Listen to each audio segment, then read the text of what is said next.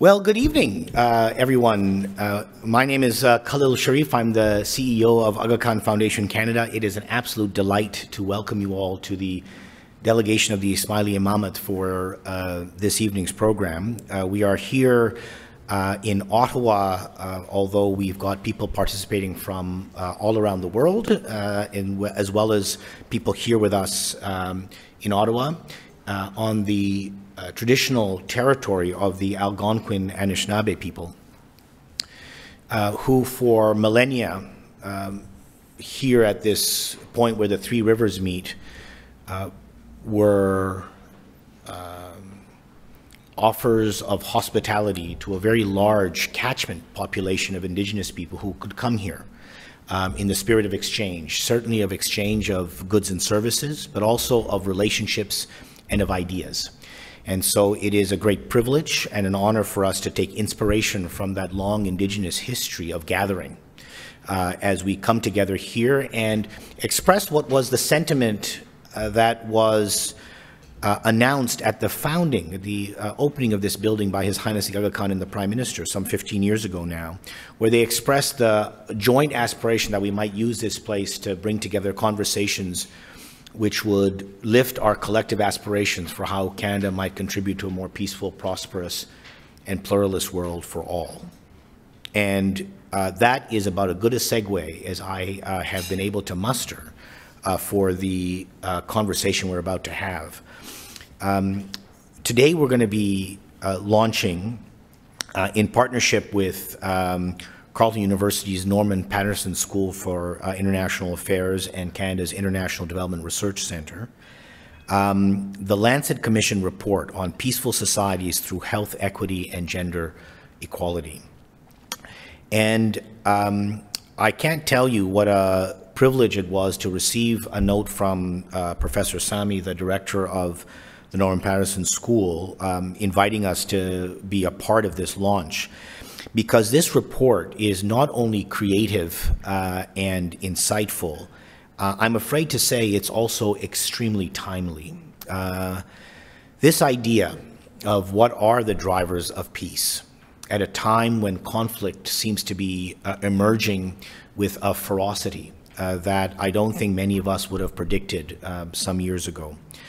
That we are at a moment in the history of the world where conflicts uh, are both festering and accumulating in an unresolved fashion, one upon the other, creating what uh, is being called in this report, and I think is now um, regularly referred to as a polycrisis, where many degrees of fragility are compounding each other. This report doesn't dwell on that. What this report does is try to construct a forward vision for what we might do as a society to overcome uh, this uh, situation of deep and persistent fragility. Um, and I was uh, very taken by this material, not only uh, because of its timeliness, but because it does put on um, on its head some things we often think about. We often think about um, the social determinants of health, uh, the things in society that allow people to be healthy. This kind of almost turns it around and says to us, just remember that if we invest in health, especially health equity, we might produce all kinds of important social outcomes, uh, including peace. And so uh, the, uh, the intellectual team behind this report has done us an extraordinary service by reminding us of some fundamental principles that might underwrite uh, the kind of peaceful societies we are now all in deep, deep and dire need for. So I want to thank um, uh, the uh, team of researchers uh, that have led this. I want to thank the Lancet for bringing them together in such a powerful way. I want to thank uh, IDRC for their uh, long-standing collaboration uh, with us uh, in on a number of issues, but especially on this uh, on this effort. Um, and uh, what I'd like to do is begin today by asking um, uh, uh, Montasser Kamal from IDRC to um, introduce the report and take us through the the main findings. Montasser, over to you.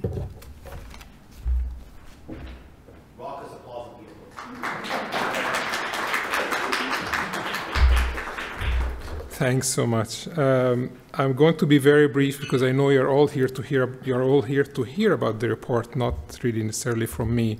But it really gives me a great pleasure to welcome you all uh, to this IDRC AKFC Carleton University jointly organized event. It, it's a testament to how collaboration can really bring people together, um, as we uh, we just heard.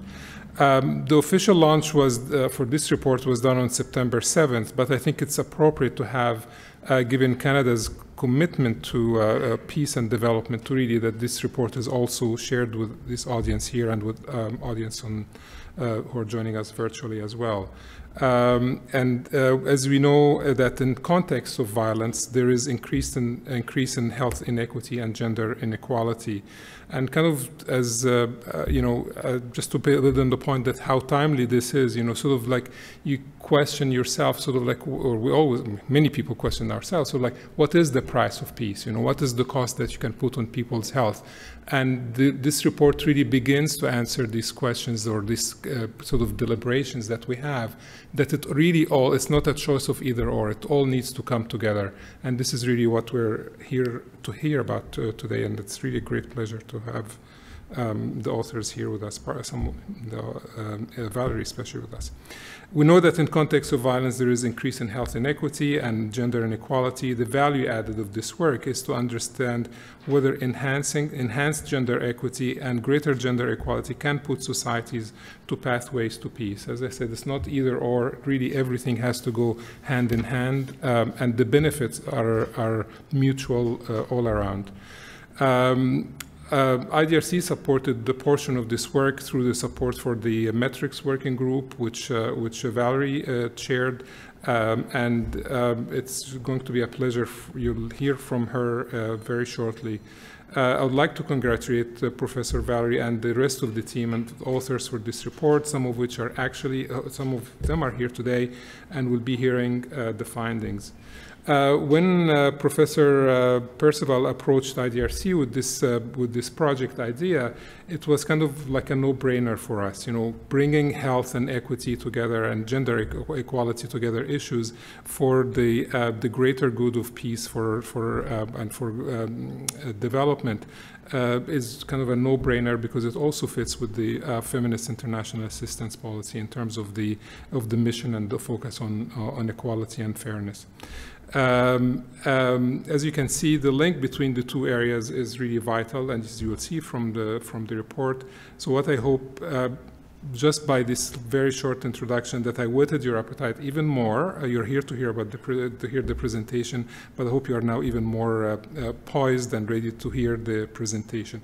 It's my pleasure now to invite the, um, our key speaker really for this, which is, Valerie. Uh, it's always been a great pleasure to have her as a colleague and as a uh, uh, opening our eyes to new um, to new findings on how we can do better in international development. Thank you very much. Thank you. Thanks uh, very much, um, uh, Montasser, for that. Uh, before we hear from Val, I'm going to ask now uh, for uh, uh, our longtime collaborator um, from Global Affairs Canada, Jean, Jean Bernard Parenteau, who's been on this stage many times before, but for the first time in his current role as Director General for Health at Global Affairs Canada. Jean Bernard, some opening remarks from you.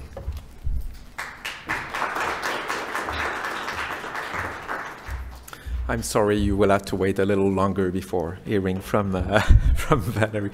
So let me thank you, uh, Khalil and the Aga Khan Foundation, IDRC, and the Norman Paterson School of International Affairs for inviting me to this evening.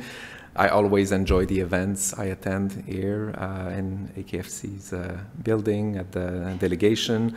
Um, certainly, the Lancet Commission report is a welcome and timely contribution to an important global discussion how to ensure that no matter where you live, you can lead a healthy, peaceful, and prosperous life.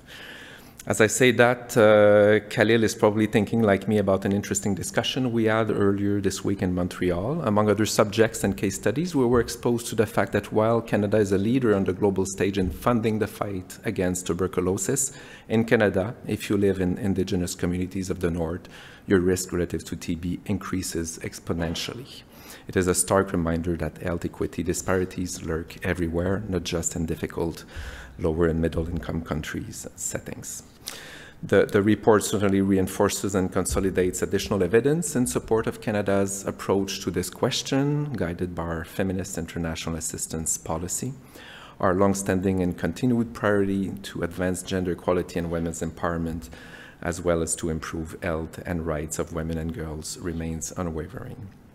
And in the wake of COVID-19, we see opportunities to take stock of what is, what is and isn't working, challenge our assumptions, and ultimately adapt and strengthen our approach to the complex realities the world faces. A key lesson from the pandemic was the need to support more equitable and resilient health systems that reach everyone, and in particular the most vulnerable and marginalized members of society abroad and at home. This involves refocusing investments, for example, in primary health care and ensuring that the organizations with whom we work keep equity at the center of their agendas. It also means doubling down on our efforts to improve access to comprehensive sexual and reproductive health services. As the report underscores, progress made on SRHR exemplifies how advancing health equity and gender equality together can make a powerful difference. In the face of rising opposition towards SRHR and gender equality, we also need to continue investing in neglected and underfunded areas of women's and adolescent health and continue carrying our bold uh, and unapologetic uh, advocacy to advance these goals. And uh, community-led mechanisms embedded in local cultural contexts that are able to serve those most in need must be empowered to deliver on activities that advance equity, health, and ultimately more peaceful, productive societies. In particular, in particular, we know that when feminist and women's rights organizations are given support and flexibility, they can bring significant and meaningful change to their communities. We know that conflicts and crises repeatedly and disproportionately affect women, girls, and youth, and we know that displaced women and refugees are especially vulnerable. As we speak, the conflict in Gaza and Israel has led to humanitarian crisis with dire consequences on women's health. To give you an example, the International Planned Parenthood Federation estimates that 50,000 pregnant women in Gaza urgently need uh, maternal health care and cannot access health services, with many experiencing miscarriages to trauma and fear. Canada is working to address acute needs in Gaza and the West Bank and, provide, and is providing $60 million in humanitarian assistance. This will help provide food, water, emergency medical assistance, protection services, and other life-saving assistance. But we cannot depend solely on humanitarian aid when a crisis hits to provide long-term stability. More than ever, we need decision makers and those at the forefront of designing development assistance interventions at all levels to internalize the recommendations of this uh, Lancet Commission uh, work. In my uh, SDGs mathematics, uh, if, if they're right, 3 plus 5 equals 16. I look forward uh, to uh, the discussion. I encourage uh, us to really think beyond the, the, status quo when reflecting on how to address our collective challenges. The diversity of perspectives and experiences around the, table, around the table here in the, the room will undoubtedly help us drive this conversation uh, forward. So thanks a lot again. Merci beaucoup.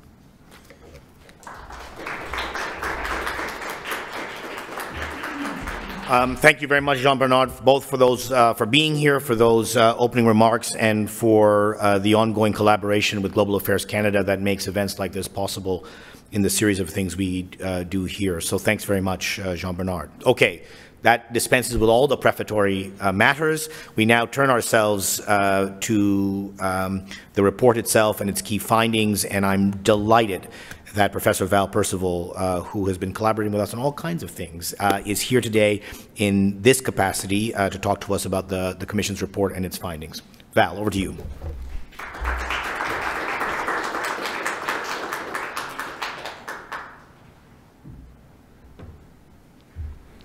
Thank you very much for those very warm uh, introductions. I'd also like to begin with a quick uh, round of thank yous. So, this report brings together the work of many people and has benefited from the support of several organizations who are listed here. Uh, two of the key contributors of the report are here with me uh, today my colleagues Timo Thoms and Dane Rowlands. Their statistical analysis was really crucial for this report, and I thank them for their ongoing collaboration and efforts. Uh, Paul Mkandawire is also a contributor and sends his apologies as he is not feeling well today. I'd like to thank the Aga Khan Foundation for hosting us in this beautiful and inspiring place, and particular thanks to Khalil for his generosity in offering to make this event happen, and to Sophia and Uju for their excellent organization and convening skills and a special thanks to IDRC, to Montasser Kamar, at Kamal and Kamar Mahmood, who provided us with financial support that has translated into Canadian leadership on this commission.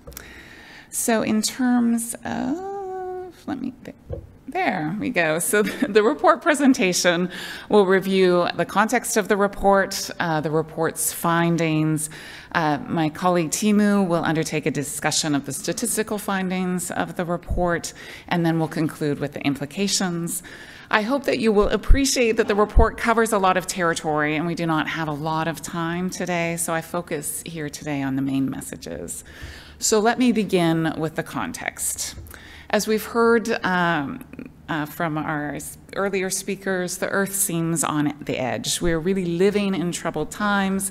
An increasingly dangerous and unpredictable world lies ahead of us, and one in which there's more diagnoses of problems than an identification of solutions. Communities and policymakers around the world struggle to respond to multiple and overlapping crises, ranging from the social and economic consequences of the COVID 19 pandemic, the impacts of climate change, including food insecurity and natural disasters, and rising violence as a result of protracted and new conflicts.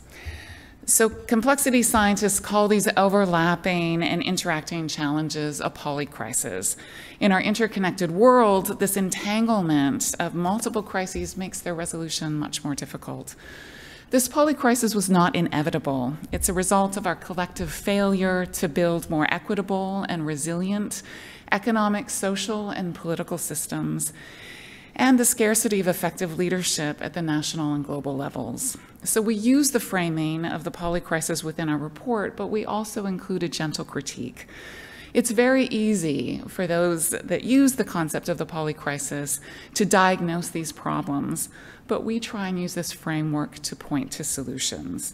So we argue that improvements to gender and health provide this feasible and practical pathway for communities out of harmful cycles of violence and into beneficial cycles of peace.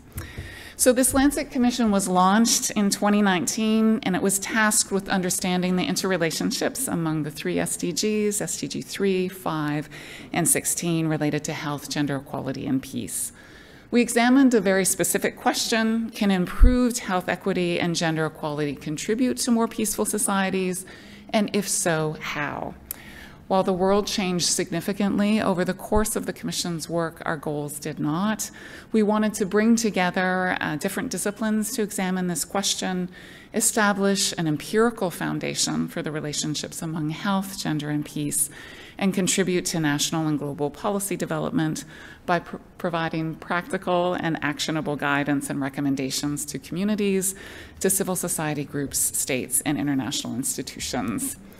So, like any good academic, I'll begin by defining my terms. So, we define health equity as meaning that everyone, regardless of identity or socioeconomic circumstance, can, has the right to good health through universal access to health services.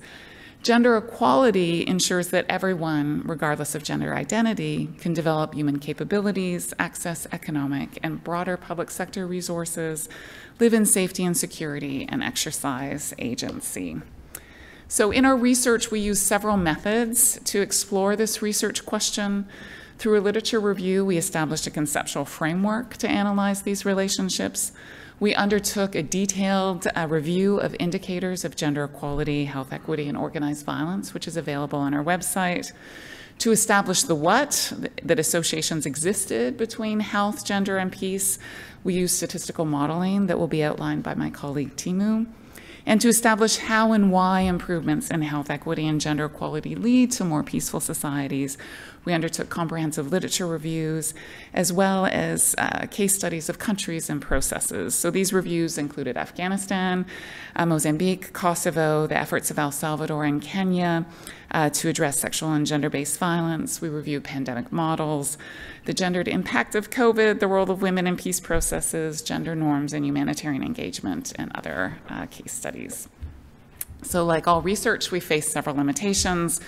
This is very exploratory in nature. It involves quantitative and qualitative approaches to a new research area. So these were plausibility probes, they're not causal models. We definitely need further research that charts out um, our pathways and our theory of change. We encountered some data limitations, which made intersectional approaches at the subnational level particularly difficult. Um, the, I should also note positionality. Uh, the epistemology and training of the researchers um, influenced our ability to observe and interpret uh, these health, gender, and conflict processes. So now on to the substance of the report. So I'll begin with the conclusions first. So our report uh, suggests that improvements to gender equality and health equity um, have a unique and powerful ability to contribute to peace. To unleash the promise of the Commission's research, health equity and gender equality must be led by communities and tailored to their context, what we refer to as inside out processes. Given our research, the Commission calls on the health sector to embrace, advocate for, and advance gender equal health responses. And health equity and gender equality must be central to national and global processes to promote peace and well being. So, identifying the independent role of health equity and gender equality in the dynamics of conflict and peace is challenging, as health and gender outcomes are shaped by broader social and economic processes that interact with each other in feedback loops. So, to enable us to analyze these complex relationships, we adopted the concept of self reinforcing cycles. How we describe those cycles depends on our interpretation of the outcome. So the Commission describes harmful cycles as one in which health inequities, gender inequalities, and violence interact to reinforce each other. Beneficial cycles are those in which health equity, gender equality, and peace reinforce each other. And in self reinforcing cycles, as we know from complexity theory, a significant change in the value of one of the variables can prompt the dynamics of the cycle to shift. So, this enabled our, the development of our theory of change. Uh, under the right conditions, improvements in health equity and gender equality can be transformative. So they can flip the cycles, nudging communities from harmful to beneficial cycles. To relate this to the poly crisis, the, influential, the, the influence of this beneficial cycles can aggregate over time and cascade across political, economic, and social systems.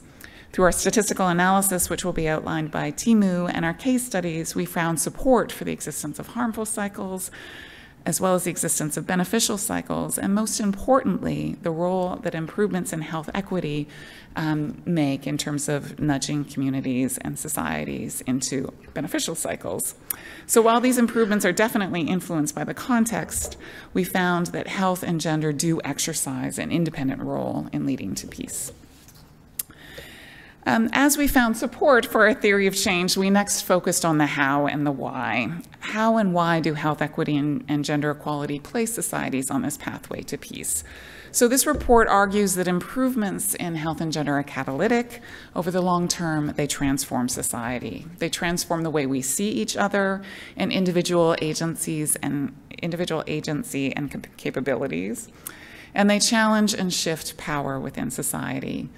We applied the Kathryn Sikkink and Thomas Risse framework uh, on the ad adaptation of human rights norms to domestic contexts. So we underscore that you cannot realize either health equity or gender equality principles without working towards a social consensus or a taken for granted status on these principles.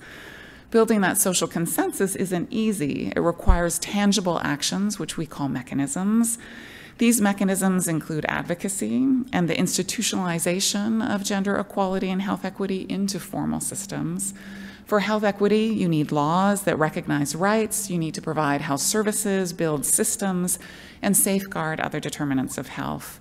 Gender equality is institutionalized through laws and actions that ensure access to education, the ability to engage in the economy, access to technology and other forms of infrastructure, and the ability to participate in civic life and politics. Our report points out the particularly powerful role that sexual and reproductive health and rights play, that com- they combine health equity and gender equality. So while these processes can be extremely contentious and challenging, through them, capabilities of individuals and groups are transformed, which catalyzes economic, social, and political change. So through heightened education, greater participation in the labor force, healthier children and adults, uh, there's less catastrophic health expenditures, um, greater uh, economic participation, and we see an economic transformation through increased human capital and inclusive economic growth. Improvements to health equity and gender equality also enable social transformations, including the ability of health and gender equality advocacy movements to build social capital and transformed social norms surrounding aggression these processes can also have important political effects, including increased quality of governance and stronger social contract within society. Gender equality is strongly linked to lower levels of corruption, and health services, particularly those provided at the community level, improve trust in institutions. So here you can see the full framework, and I would emphasize that we have these important feedback roles between health equity, gender equality, and these economic, social, and political processes. Um, so, in terms of lessons uh, from previous experiences building health equity and gender equality, while we advocate for health and gender to be prioritized in all policy agendas, um, we do recognize that we need to learn from the mistakes of the past. We have a promising foundation of norms, institutions, and funding mechanisms upon which policy initiatives can build. But health equity and gender equality cannot be instrumentalized for the political, security, or foreign policy objectives of external actors. We must also avoid what we call imitation projects, copying institutional structures from one setting and transplanting them to the other. Efforts to promote gender equality must avoid the superheroine fallacy, where women are promoted as leaders and agents of transformation without sufficient efforts to address the structural conditions that enable broader gender equality. And we need to understand the dynamics of conflict and ensure that engagement in health and gender does not inadvertently fuel violence. Our report also illustrates the importance of emerging opportunities, such as digital technologies, as well as the power of sharing data. So, in terms of what is new, um, we fill some important knowledge gaps. Previous research established that conflict and insecurity have a devastating role on health and gender. We show that it has an independent role in contributing to peaceful societies. Uh, we provide a conceptual tool and framework for how to understand these relationships, and uh, we establish a research and policy agenda that's feasible and actionable. In the report, we have particular recommendations for broad recommendations with implementation pathways that are detailed. Um, these four recommendations are that communities and contexts should shape and drive gender equality and health equity initiatives for change from the inside out. Health responses should embrace, advance, and advocate for gender equality. Initiatives to advance health equity and gender should support openness, inclusivity, and accountability and be data driven. And national and global agendas for development and conflict should incorporate health equity uh, and gender equality. And now, um, oops, sorry, I forgot to change the slide. So there's our four recommendations. And now I'll turn it over to my colleague, uh, Timo, for his um, detailed analysis of the statistical findings. Thank you.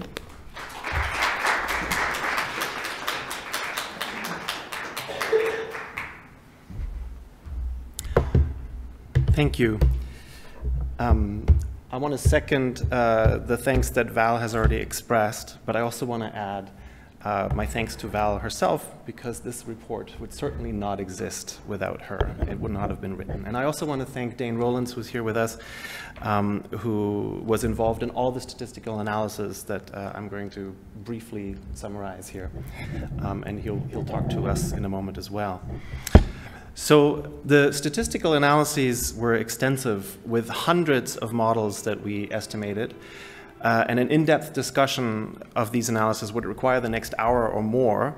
So what I will do briefly instead is to provide a comprehensive but compact overview of what uh, we've done. And I will not inflict any regression tables on you uh, at this point. Uh, for details, if you're interested, um, readers can consult the final report appendix uh, or contact us, email us, or ask us questions here. Um,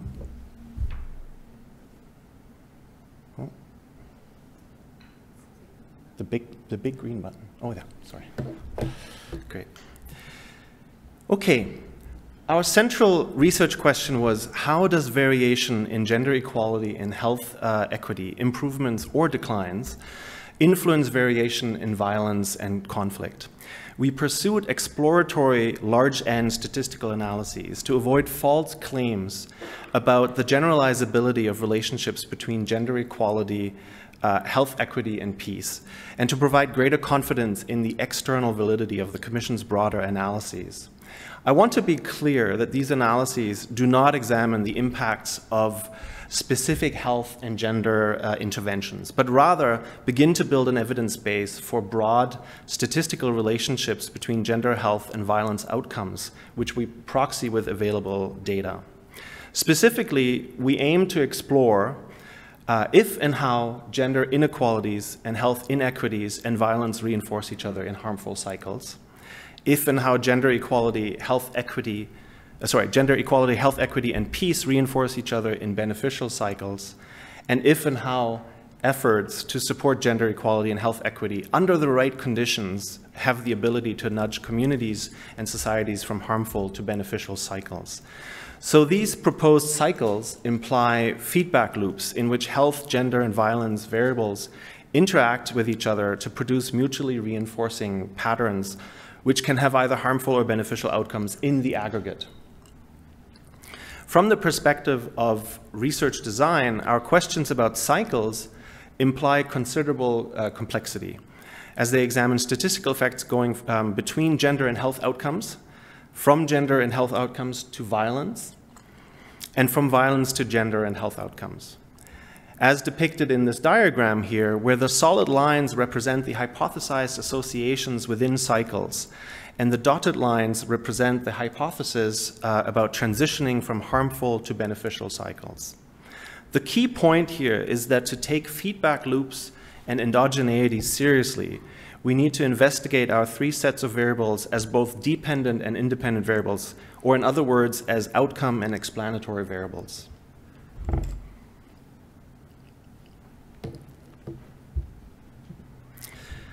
So given uh, this complexity, we employ several approaches to the large N analyses. That is, uh, we do cross-sectional and panel regression models, and we also have some simple bivariate analysis of long-term sequences of health and gender change. It is important to note that while there are many other important factors influencing health, gender, and violence outcomes, we do not develop detailed causal models of each outcome. But we examine whether statistical associations between these outcomes are broadly consistent with the proposed harmful and beneficial cycles. I will say a bit uh, about why we take these approaches in a moment, but first I'm going to introduce the data that we use. We chose measures for the analysis guided by the indicator mapping uh, carried out by the working group that um, Val already mentioned before and that are available on the website uh, for the Commission. And based on our evaluation of the quality and coverage of these data across countries and over time. For the main analyses, we chose two representative uh, and commonly accepted variables, each for the health and gender dimensions. For health, we use the life expectancy and the infant mortality rate. Uh, for gender, we use the mean years of schooling ratio of females uh, to males and the age-specific fertility rate for adolescents. We also initially did supplementary analysis with the other measures in this table, but those four are the key measures consistently examined in all analyses and which are used in the final report. To measure violence, we chose several indicators to capture different types, including state-based in internal conflict, state repression, and physical integrity, and the total and civilian battle related death rates per population resulting from varying types of conflict and violence. But most of the analysis in the report focused on internal armed conflict incidents because the Commission had decided early on to focus on violence committed by formally organized groups. To uh, decrease the number of combinations of variables in examining patterns of harmful and beneficial cycles and thereby simplify some analyses, we created combined and standardized health and gender indices based on the four main measures. We also developed a country classification system based on quintiles of combined health and gender measures in order to operationalize uh, interaction effects. There are two key reasons why we examine interaction effects in some of our analyses. First, simple correlations between two variables cannot distinguish between harmful and beneficial cycles. By this I mean that they cannot examine the possibility that one could occur without the other, or perhaps more importantly, that they may operate on different timelines. Second, in the simple correlational approach, it is not possible to determine whether the gender, health, and violence variables mutually reinforce each other. That, that is, whether their combinations have statistical effects uh, beyond their individual effects. So such conditional effects can be investigated with two-way or even three-way interaction terms between the health and gender violence variables in the statistical models. But this approach quickly becomes very complicated to implement and interpret. So to make the analysis more tractable, we opted for using two-way interactions between individual measures or joint classifications, which is akin to including interactions of the combined health and gender measures. And finally, we interacted the joint classifications with violence measures to examine three-way interactions.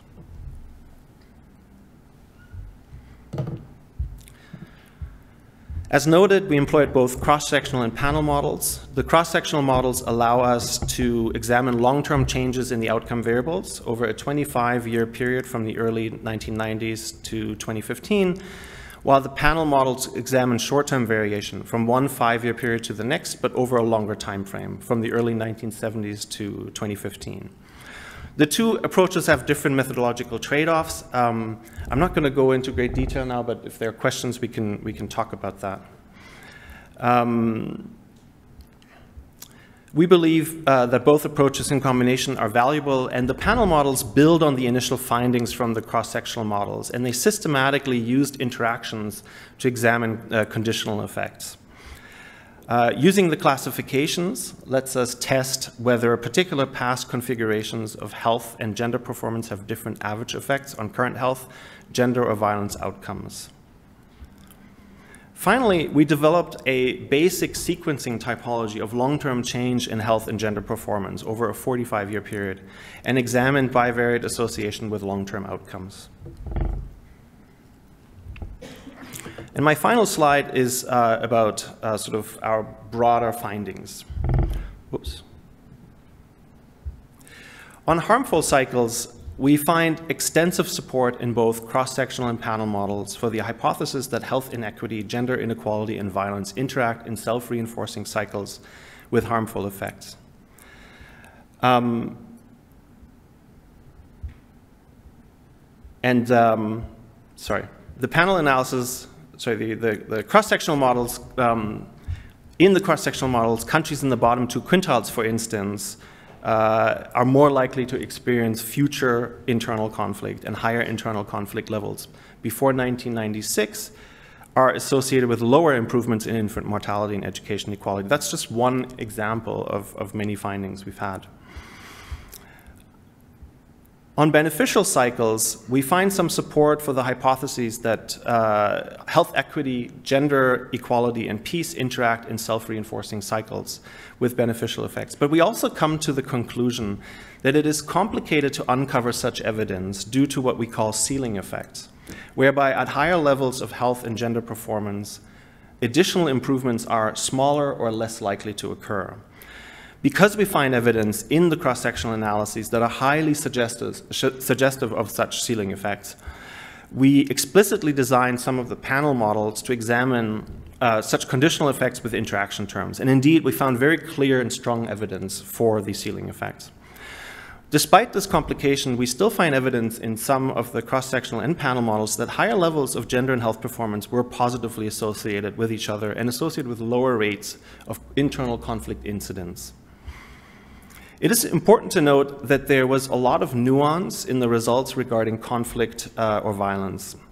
In the cross-sectional models, prior conflict was often associated with improved subsequent health and gender scores, which likely reflects recovery after organized violence decreased. But in most cases, current or contemporaneous conflict and violence is associated with worse performance in improved health and gender outcomes, as expected in our theoretical framework. Finally, on the transition out of harmful cycles, we find associations that are suggestive of our theory of change. Under the right conditions, improvements in health equity can help transform self reinforcing cycles to nudge communities from harmful to beneficial cycles. While our sequencing analysis was more limited than the cross-sectional and panel models, they show some very interesting associations that suggest our hypothesis about transition from harmful to beneficial cycles should be investigated further with new research. What we call health-led sequences are associated with both more health and gender improvements, quite unlike gender-led sequences, and yet gender-led sequences are robustly associated with much less long-term violence, which is in line with international relations research uh, on gender and conflict. I will leave it at that um, for, for, today. Anyone interested in the details of the Commission's statistical analysis can find those in the appendix of the final report or can talk to us. Thank you.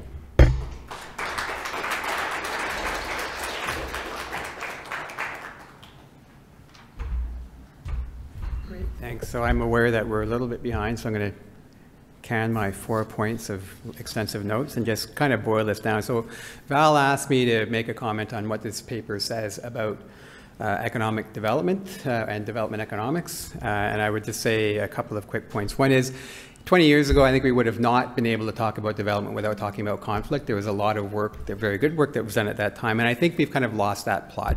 So I think one thing that this paper does is remind us that we need to go back to uh, looking at the intimate connection between uh, conflict, violence, and development as a, as a large set of phenomena.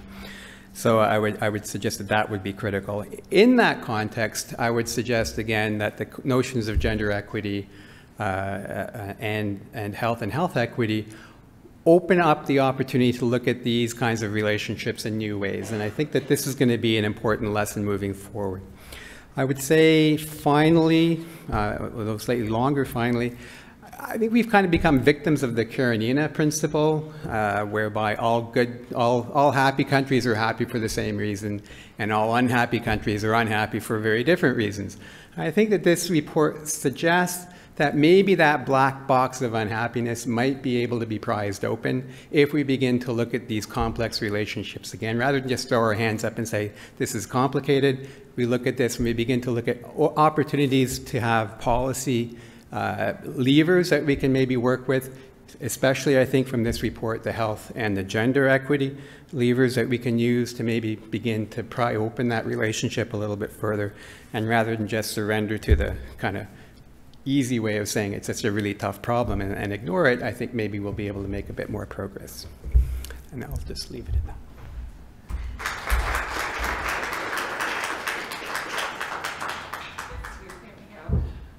I thought uh, Paul was going to speak about the implications for, for global health, and I will just put up his slide.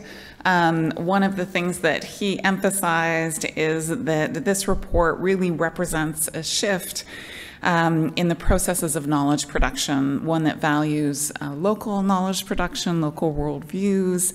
Um, and the report really mirrors larger debates in peace research about gendering and decolonizing disciplines that produce knowledge on peace. Um, he argues that this represents a conceptual and methodological shift in how we understand and investigate hypothesized linkages between gender equality, health, and peace, um, and that we definitely need more context specific research.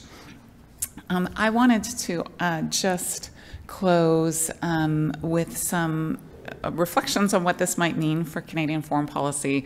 Years ago, I used to work in the policy machinery, and I haven't um, really engaged in those processes for a while, so my policy um, skills might be a little rusty, so forgive me.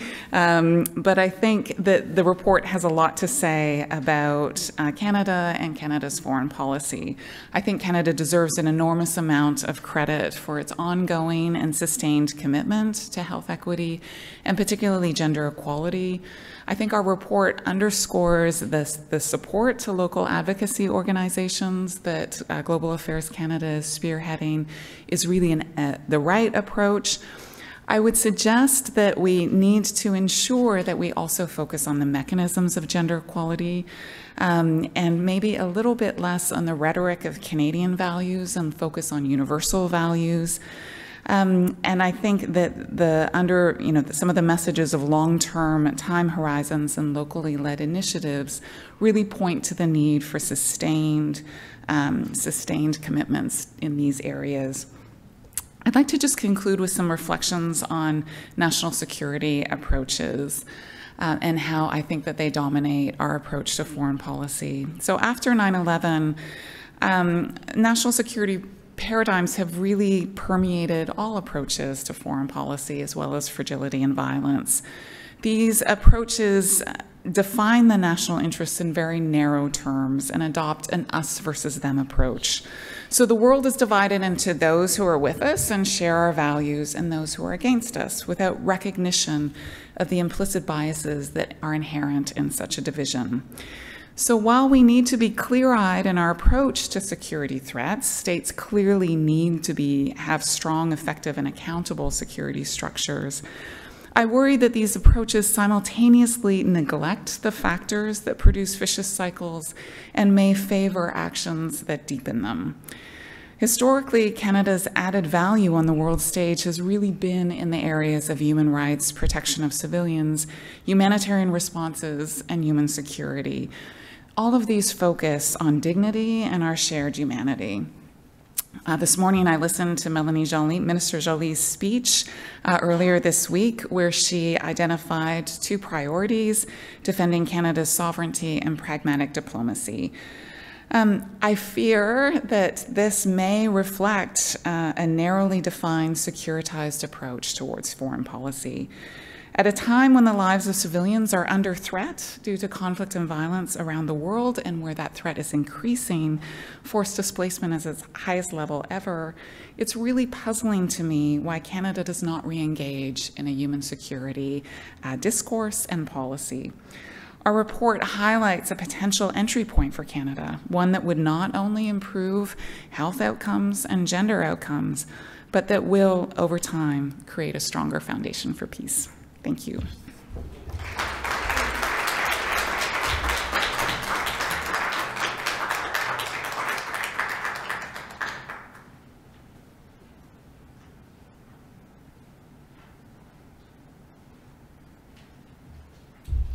Thank you, Val. Um, just so we can move on to the next segment of our event today, um, I would like to invite Montasser Kamal back to the stage as he'll be moderating the panel discussion.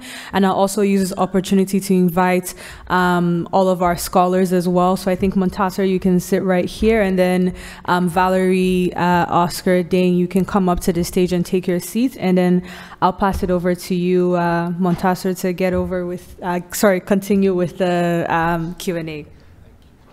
Thank you. Is this working? Okay, great. Um, okay, uh, I'm sure you've all been now intrigued and uh, uh, interested and, and, sort of thought-provoking uh, from these thought-provoking presentations. Um, so the question, the, the floor is open for questions from the floor and uh, virtually. So please uh, raise your hand, stand up, introduce yourself, and uh, pose your question. Or if we have any questions online, please let me know. Okay, oh, here we go. Please.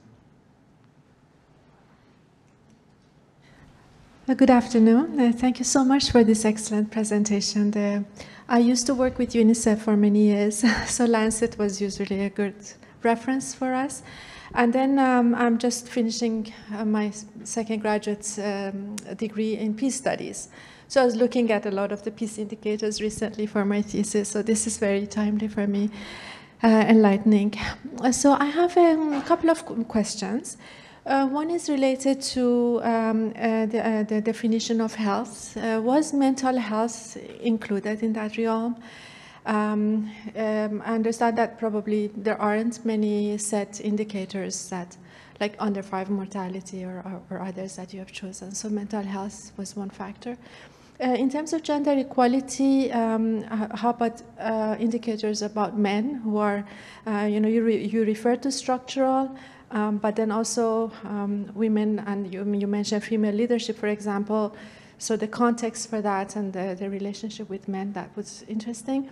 And then in terms of the indicators, I noted that there were um, references to uh, liberal uh, indicators in terms of the uh, models. Uh, so that was interesting to me because, um, as you know, there's a lot of theories of uh, critical, uh, critical theories on liberal peace. so um, not that I would question that, but I was curious to understand that that framework. Thank you.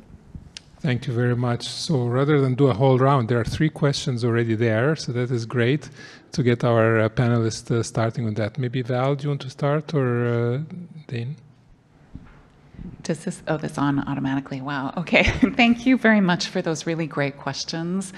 Um, before I answer them, I'd just like to underscore that this was a, an attempt to establish this initial kind of conceptual framework and an empirical foundation that shows that there's these associations between improved health and, and more peaceful societies.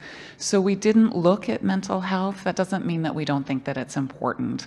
And I think that what we hope that the report does is establish the, the, that kind of conceptual pathway that other researchers with expertise in that area could use, um, in particular case studies or, or, or cross-country analysis. So I think that um, I would welcome that kind of focus because it is important.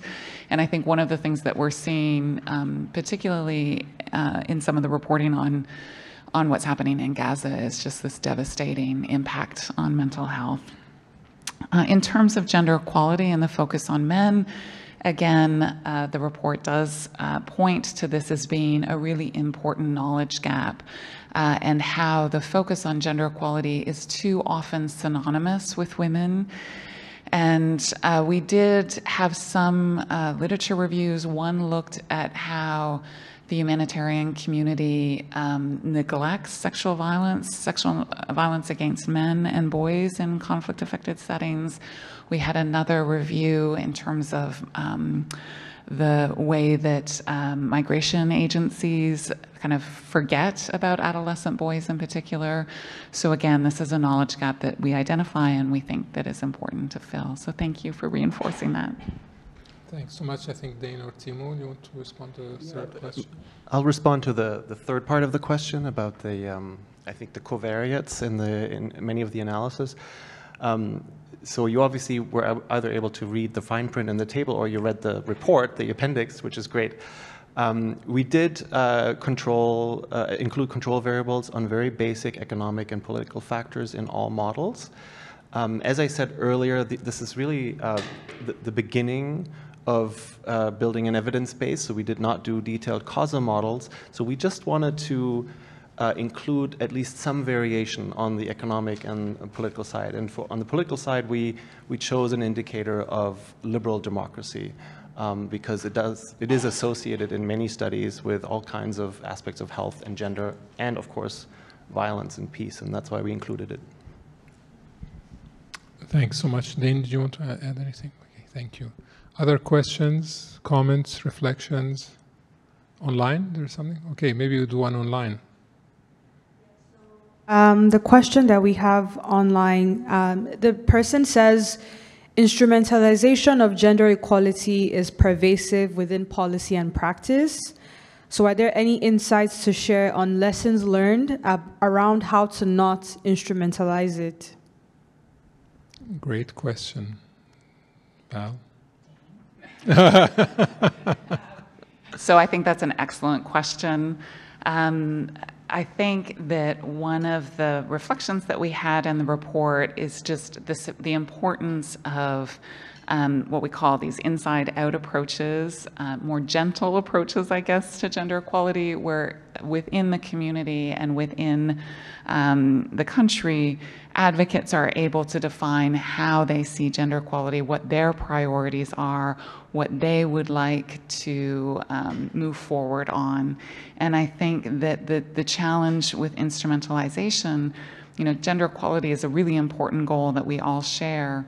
But if the objectives of gender equality are, are defined from the outside, um, it can be particularly problematic if those external actors are part of, you know, the kind of the if, if the conflict is internationalized. So I'm thinking in particular of Afghanistan, and we had some really excellent reviews that looked at this.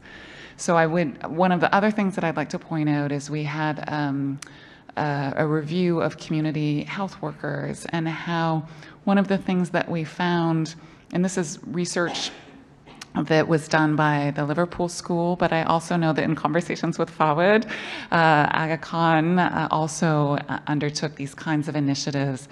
And I think that community-based health workers are really critical um, instruments of promoting gender equality in very sensitive ways because they know the community really well, but even the, their participation as community health workers changes the dynamics within their household, also changes the dynamics within their community in ways that um, is is kind of an, an easier path forward in terms of, of gender equality and builds that kind of community consensus. So that might be one uh, example that I would point to. Thanks so much, uh, Val. I think when you spoke about earlier about kind of like the universal value, the universal values, but then you now are talking about the localization as well, and that it's really there's a, a good tension there that needs to really be worked out in context. I think we had uh, someone there. Please go ahead. Thank you so much. Uh, Please introduce yourself yeah, as well. My name is Razia, Razia Tamadi, and I'm currently doing research for, I cannot say for Carleton University because it is a micro grant. And the objective is to develop a manual for the health providers to be aware of the traditional language that Afghan newcomers, the women, are using to express their health problems because uh, most, I think that you, uh, maybe you know that in Afghanistan, no woman talk about her health directly. For example, he never, she never says, I'm pregnant. She almost maybe say that I'm heavy. Then you understand that what's, what has happened to her. And the same thing is with men because of that. So I'm working in this. And when I was listening to this part, uh, because of the thing that I'm doing, uh, it came to my mind that so these cultural things and also the, these new cultural things that are coming to the society. And for example, by increasing the number of Afghans, the new cultures are coming. So where in this studies is standing these cultural sensitivities?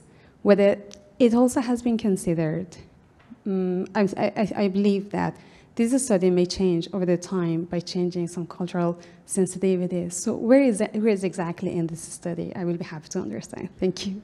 Thank you. Val, um, I think that's an excellent question. I would argue that you know why we didn't integrate cultural sensitivity as a within the study itself. We do talk about how health systems and health services need to be much more responsive to to their communities, and um, this is a separate piece of research that isn't reflected in the report, but I did have a student that was looking at this issue not with related to the Afghan community in Canada, but with other communities.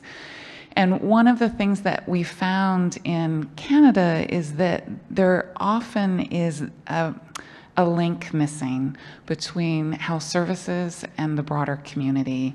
And particularly if you have uh, new Canadians um, with you know, different ways of expressing health issues, there's a, there's a critical importance for health services to reach out to advocates within those communities to develop that cultural sensitivity and to understand. Uh, and so I think that, you know, it reinforces the importance of the health sector being a social, you know, the health system is a social system, and the degree to which you can ensure that there is receptivity or receptors in the health sector for engagement with the community, and particularly um, engagement with with people that they might not otherwise be familiar with, the ways of expressing health, et cetera. I'm not sure if that's a, a good answer, but I think that it's an important issue, and um, and I think the spirit of the report really uh, speaks to that importance of the, the linkages between um, the health sector and the broader community. Thanks. Thanks, uh, Val. And I think maybe also that relates to your earlier comment and the findings about kind of these imitation models, you know, that how that is not the good way to go about it. okay, uh, do you have online anyone? Any comment? Okay, so please go ahead. Yes, thank you very much. Uh, my name is Bilkis Vissandjée. I'm a professor in uh, nursing and public health at the University of Montreal. It's a pleasure to be here and thank you for the excellent presentation. It uh, reminds me of my uh, youth when I was studying PhD in Ann Arbor about all the mathematical models. Um, I appreciate the presentation and especially uh, you have mentioned a number of times the intersections with the social determinants of health. I'd like to uh, salute the fact I just come from the University of Ottawa this afternoon, where they had uh, celebrated the memorial of Monique Bégin, who passed away not long ago and wrote the commission, the report of the commission on uh, social determinants of health with Sir Michael Marmot. And he was online today and he spoke about uh, the issue of social determinants of health. And I, I appreciate your model about the harmful cycle, which sort of mimics to some extent what they had identified in terms of the precursors of health inequities. And um, as an example, um, Sir Michael Marmot was saying that when we look at harmful cycle, uh, one of the examples he gave was like, you know, when there is a, a situation and people have to find, to fight for their health or their life, he, he had a meeting with a lot of uh, leaders uh, of the world discussing all this. And those who step on the street to cross the street when it was really harmful to some extent, potentially, those who were from countries where the life expectancy at birth was lowest crossed the street first. And then those who were crossing the street at the end were US, Canada, and Japan. Um, you know, sort of not well built in terms of protecting themselves. My question, sorry about this long um, uh, introduction, is how do we link your uh, promising, feasible pathway to a peaceful society, which I really appreciate, to what we used to call empowerment of women, when we used to call that, you know, we have to invest. Um, you know, the sort of example way back then of the Grameen Bank in Bangladesh, you know, was like a concrete economic sort of uh, pathway that we had used. What are the concrete sort of recommendations in terms of these intersections that you have found? And I, I think they're very useful. Uh, if we were to go ahead and submit our public health reports, you know, for those who are in global health in Canada, to understand how did we go from, from women's equality to today looking at peace building on health equity, gender equality, and, and, and looking at, you know, what do we give women now at this time? I'm specifically focusing on women, uh, you know, and where are we at when we look at this for the next sort of five, ten years in terms of recommendations? Thank you. Uh, not an easy question, Val. no, I think it's a great question. It's definitely not an easy one. Um, and so I'll, I'll, see if that if I can do it justice. Uh, the report really focuses on this interplay between the principles of gender equality and the mechanisms for gender equality. And uh, it, there's not, you know, it builds on a lot of the earlier work that has been done in that area. So you, you mentioned Monique Bégin, but there are many other um, people within Ottawa who've done fantastic work on gender and health. And so it really is, is kind of building on, on that. Um, the mechanisms for gender equality we outline as things like access to education, access to infrastructure, access to um, resources, economic resources, which is what the Grameen Bank did. Um, and we also really focus on the importance of sexual and reproductive health and rights um, and outline how those factors um, really lead to inclusive economic growth, um, uh, improved human capital, the ability of women to participate in uh, social movements and civil society and politics, but particularly civil society. Um, there's, we, we did a, um, a case study that looked at women in peace processes. So these are the kinds of pathways that we're charting out. It's, it's not, it's not, um, it's building on that existing research uh, and, and perhaps just furthering it with a little bit um, more analysis of how women's empowerment links to these political, economic, and social processes. So I'm not sure if that answers your question. I'm just worried about, you know, being there, but not done that yet, right? I think you, the, the reaction may be, okay, we, we, we've been there, you know. Yes. It's, it's nothing really, you, and you even said yourself, you know, what's new? Right? I think in, at the end of your presentation. So I'm just building on what you said about what's new to the next generation to sort of really pinpoint. We cannot say, been there, done that, because we haven't done it. so that's sort of what I'm looking for in terms of your comments. Yeah, I think just to follow up on that, I think one of the the things that we would emphasize that is really new in the report is this focus on the importance of of data, of understanding um, if and how those investments that we're undertaking actually are achieving results. Um, and I think that, um, yeah, I, I think that been there and done that, not really. so there's lots more work that needs to be to be done. But thank you for your question. Thanks very much, Val, thank you for the question. And I think, Val, in your presentation, uh, everyone with the team, you presented that this is kind of a foundational piece, so to speak. Yes, it builds on previous work, but it also starts or opens doors for more work that still needs to be done and different uh, layers of analysis that still need to be done for sure. Um, other questions? Nothing? Anyone online? Okay. Um, go ahead, please. Here. Uh, Amber Warnett, PhD candidate at NPSIA, um, and I also work for Elections Canada. Um, the one of the things that you come up against, or many of us come up against, is when you deal with complex stuff. There's resistance. so I'm just wondering, um, in terms of implementation and use of the model, do you have recommendations on not necessarily how to break it down, or but how to implement it because because of the resistance to complexity, um, uh, or ideas you have for getting past that resistance. I think there was another question here. Sorry, I think there was another question here.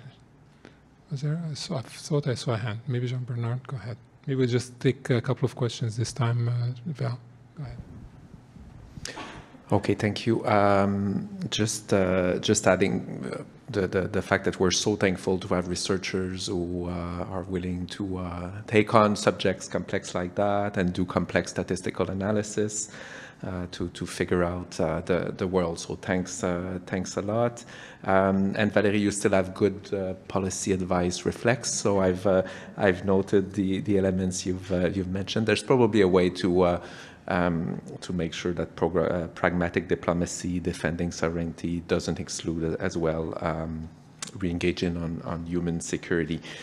Uh, so uh, just wanted to uh, to say that, and and you're providing a very useful framework for uh, for us at the government of Canada. We we do engage. We've been engaging more and more in the last few years on the issue of health equity with many organizations, with the global fan, global fund to fight um, AIDS, tuberculosis, and malaria, with Gavi, the Vaccine Alliance, other uh, organizations, and you're you're really giving us a, a solid framework to be able to to back up the, the, the, the solid link between uh, gender equality, health equity, and, um, and peace as well. So I just wanted to say that uh, that, that, that will be a concrete use that we, we will be able to, to make of your research. Thanks so much. Um, Val, you want to um, sure. So I think um, on the issue of resistance and back, you know, it's backlash, right, in terms of the report. So we talk about in the report the need to explore this in further detail. I did a little bit of this work while I was on my sabbatical, um, and uh, trying to understand the dynamics of backlash. And I think one of the things that we really need to think about in terms of backlash is understanding um, that it is the response of a system to change, right? So systems will always resist change. And uh, I think that if we can find intervention points that um, that are circumvent the kind of that backlash, it's it's um, you know, it's necessary to advance gender equality. So when I'm thinking about that, I'm thinking about appealing to universal principles. Um, and you know, and I've changed my um, my ideas on this over time. I used to talk about the importance of Canadian values and the Canadian um, and, and, gender equality and the importance of um, you know strong diplomacy and I still agree with that in many contexts, but I think that in many places, if we talk about feminist uh, approaches to gender equality, that comes with a particular baggage and a particular and and in, and I I'm an, a strong feminist, but I don't think that everybody has to be a strong feminist, right? Like so, I I just worry about you know, the, the use of that term, and that's something new. I used to be very strongly advocating for, for feminist approaches, and I still do, but I, I just think without the, the word feminist. Um, and I think this focus on mechanisms, you know, the importance of real concrete change and explaining why that's useful for communities. So, you know, when I was in Mozambique, there was somebody from one of the NGOs that was talking to me about um, their approaches to reproductive health. And um, I, you know, I was kind of advocating for the the the shot, right? That where women get a shot and then um, they they don't have to worry about being pregnant for the next year. And he was talking about how his preferred approach was to bring community members together and talk about why it's important for women to be able to control the number of pregnancies they have, why it's good for the community, and how it's good for community. Um, for for children not to have so many siblings, so that they don't have to compete for uh, resources for education and for um, for food, et cetera. And so I think that those, you know, we in Canada tend and tend to take a very individualistic approach to gender equality. And I think sometimes we have to translate those messages in ways that are more appropriate for areas where it's a more kind of social approach, right? Um, so but thank you for that very tough question, Amber. Thanks oh, so yes. much, Val. So just to add to that, I think one of the things that the approach and the model in the paper, in the report does, is give us an opportunity to, to ask the question of, of how countries have made that transition. Uh, and so this theory of change that Val referred to. So clearly we've observed some countries and some societies which have been able to make the transition. And yes, there was inevitably some pushback, but this was often done in a peaceful and you know uh, cooperative manner. And so I think by studying that transition path, we might be able to observe how to overcome uh, what might be initial resistance to these kinds of changes. So, and, and it may not even be resistance to a, to a specific policy. These things do evolve naturally. And so it would be a question of observing how that happens and whether there are policy levers to speed it up. Thanks so much. So another hand somewhere. Online, anything? No. Well, I have a couple of questions myself, so I might as well, you know. Well, one of them actually started already speaking to uh, uh, Val, which about the community. You know, sort of. You know, obviously you tried to uh, put so much in your presentation that I'm sure many things were left out. But maybe if you could elaborate, and you give a, a great example now of how engaging communities and um, and how that could be um, uh, part of the dynamics of of change or of uh, gender equality and, and health uh, equity as well. So do you have, um, from your findings or from the from the preparations for the uh, commission, were there other examples or other mechanisms that you found, or other um, sort of pathways um, uh, that involved communities or examples that you could share with us on sort of how important this is, or in, in the influence or the factors that influence that? So I can um, give an example of a project that we're working on with Aga Khan, with Fawad um, as well. And it's this, um, it's called the Gen Lab. It's a, a gender laboratory where what we're doing is we are working with community stakeholders to talk about what gender norms are, um, what um, how they impact on the health of community members, but also on their ability to access health services.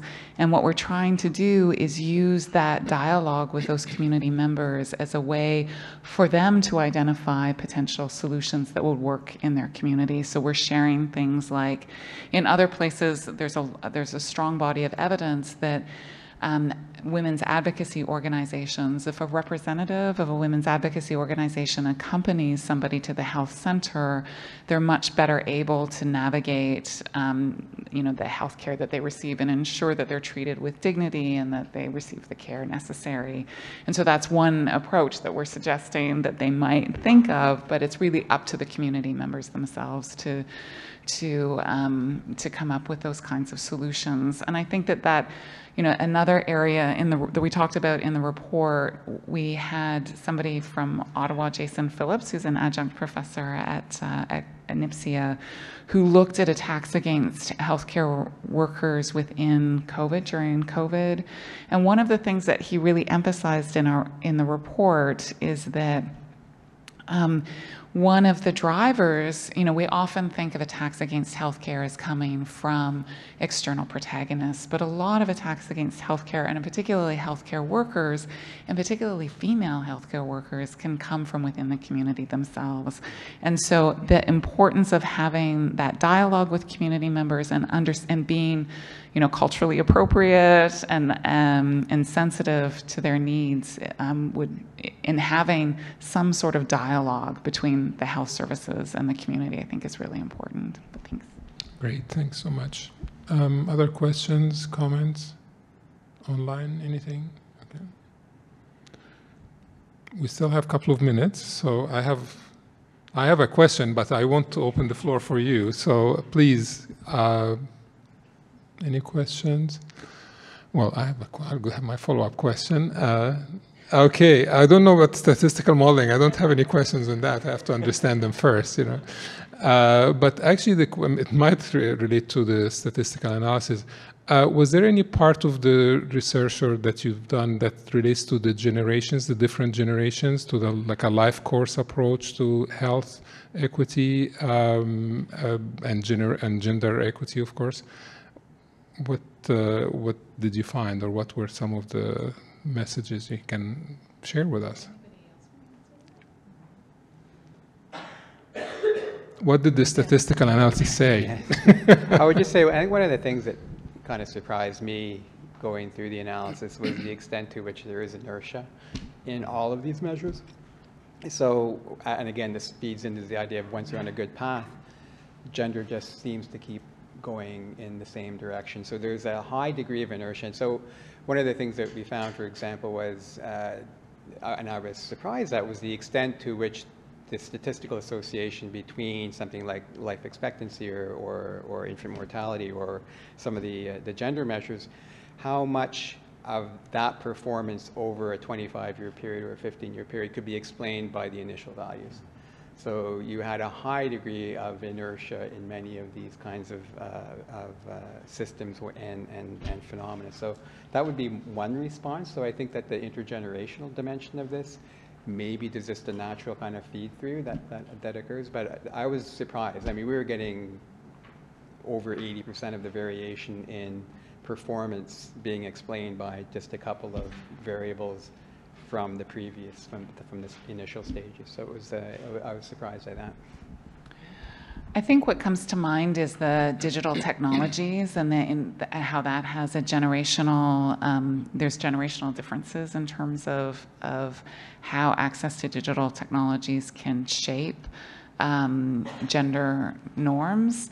And there was, we had a fantastic NPSIA student who did um, a statistical analysis using um, the Asia Pacific um, survey and Afghanistan and looked at how access to the mobile internet um, really helped um, uh, transform gender norms. So I think that it is an area that requires a little bit more digging, um, but I think it, there's some interesting results potentially there. Thanks. Great, thank you. I'm looking at the clock. We still have? We have to finish now. Well, okay. Well, I'm glad I put in my questions. uh, thank you so much to our panelists. Uh, really learned a lot. I learned a lot today, and I'm sure our audiences also uh, participants today learned a lot as well. Uh, and I think it's sort of you whetted our appetite for more uh, digging into the the fine prints and the appendices of the report and the report itself. Uh, it's really been a great pleasure. Thank you so much, and it's been a great pleasure for me to be here to do this uh, segment, at least of the uh, of the session. Uh, I leave it to you. Thank you very much, thank you. and thank you for all of you.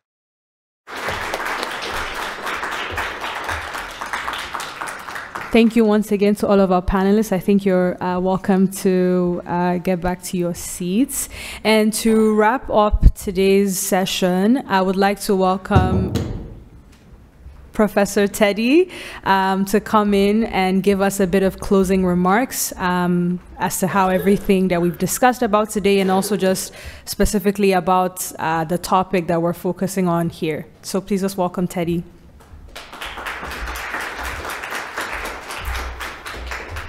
Thank you very much. I'm the last person standing between uh, the end of this event and the reception, and hopefully a chance to chat more about what the report is. I guess there's a lot in this report. I, I do want to thank Val again and, and my colleagues. I uh, watched from a distance as this was happening over the last couple of years, and, and it's been an interesting journey having worked with data for a long time, I can only imagine how painful this was to figure out causality, which I think is going to be the next stage. And I, I, think we all should look forward to maybe some more complex models of, you know, uh, how to disentangle cause and effect. Uh, in fact, when I was thinking about what to say, it reminded me of an old pro project when I about 15 years ago when I started working on fragile states, there was a project known as the Political Instability Task Force um, also known as the State Failure Task Force, which was backed by the CIA at the time. And one of the interesting things in that report, if you go back and look at it, is that they were able, through statistical analysis, to come up with three predictors of political instability. Uh, one was regime change, the other one was international trade, and the third one was actually infant mortality. Uh, but at the time, I always thought about infant mortality as an indicator of a standard of living, which is what this report was saying. But I think this is interesting because now you're looking at infant mortality on its own as a health indicator, which I think would change a little bit the, the approach of, of what the PITF at the time, as it was called, was trying to look at. Uh, so having said that, I think there's a couple of things I, I want to add. First of all, of course, thanks to Khalil and his team for hosting us in this amazing building.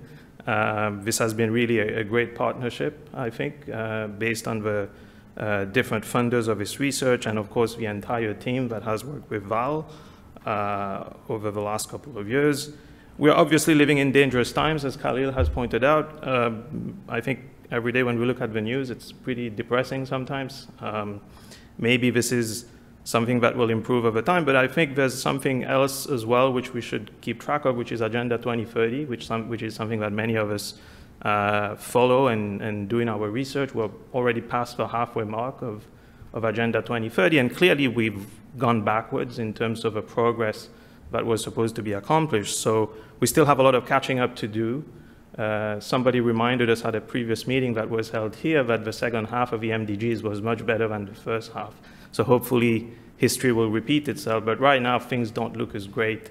And I think reports like this uh, indicate that there's actually a lot of interesting areas in which we could invest more resources uh, to see progress. One thing obviously that comes out of a report is data limitations which is something that the SDG agenda has also revealed time and time again.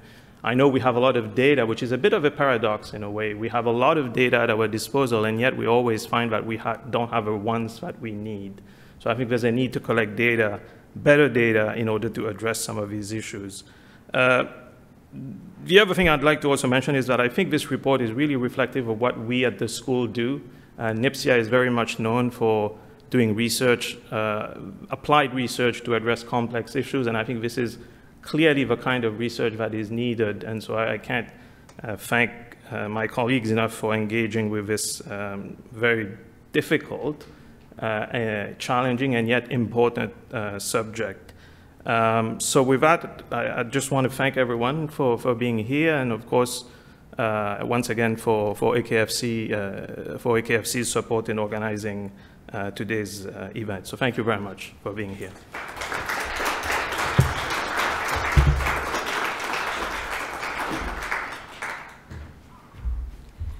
And to formally wrap up, I would just like to take this opportunity to ask everyone to give us your feedback. We'd like to know how today's event went from your perspective, that is. So um, please, uh, maybe during the course of the mingling, feel free to bring out your phone, scan the QR code. Also to all of our guests joining us virtually as well, the link is being shared in the chat. We just want to hear from you about how today went. Um, thank you once again, everyone, for participating, for engaging, uh, for listening in, both to everyone who came in person here in Ottawa and then to everyone who has joined us um, online as well. And with that, I'll say thank you. Enjoy the rest of your evening, and hopefully, we'll see you sometime soon.